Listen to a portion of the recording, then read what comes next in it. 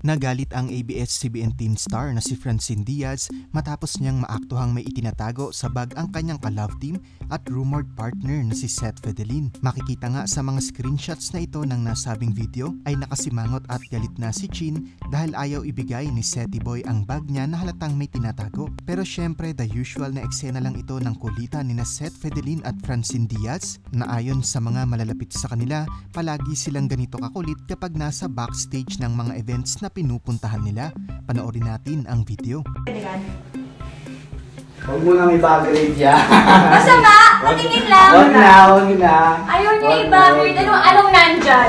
Ako na lang set mo ko pa. Ito na Huwag lang. na. Aray! Ay! Sinutulak! Sinutulak ako. Ay, may ebidensya ko. May ebidensya. Hindi naman kailangan ng ebidensya para magpapakain.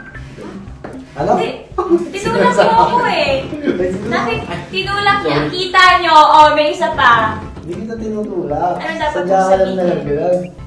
Sobrang sweet talaga ni na Francine Diaz at Seth Fedelin sa kumakalat nga na ito ng mga litrato nitong nakarang araw matapos ang guesting nila sa Showtime ay makikitang nag-aakbayan at holding hands ang dalawa sa hallway ng ABS-CBN kahit off-cam na ito. Ibig sabihin kahit hindi na sa harap ng mga fans at ng media ay akbayan at holding hands pa rin sila na typically reserved lang sa mga may relationship na o malapit na doon.